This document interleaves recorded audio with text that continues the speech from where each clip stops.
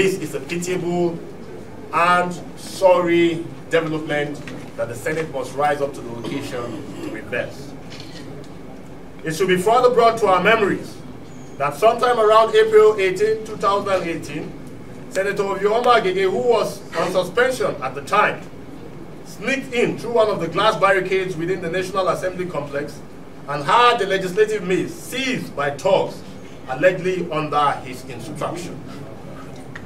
This act in itself cast odium and deep negative aspersion on the image and integrity of the 8th Assembly.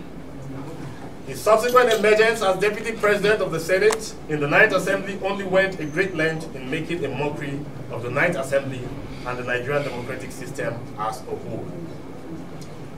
Let it be noted that all of these crimes alleged to have been committed by Senator Ovie Omo-Agege cannot be wished away, and the Senate will only be playing the ostrich by not taking the necessary actions against the ethical misconduct of this prominent legislator. On the heels of these unimpeachable facts, here stated, we make the following urgent demands that, one, the state Senator Ovie Omo-Agege should be prevailed upon by the Nigerian Senate to resign from office and the Senate seat declared vacant with immediate effect.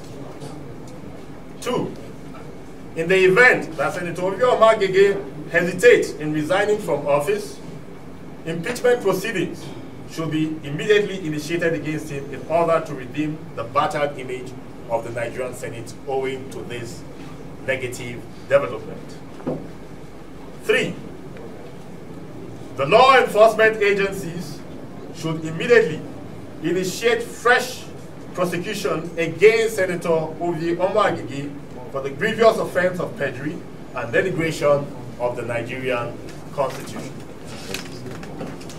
Let it be known that in the event that the immediate actions are not taken as stipulated herein within 72 hours of this notice, we shall be left with no other option than to mobilize thousands of civil society groups and youth organizations to occupy the National Assembly complex until it is purged of corrupt elements. We shall maintain eternal vigilance and remain in defense of the Nigerian democratic system for the good of all and for the development of our dear nation, Nigeria. God bless Nigeria. And thank you.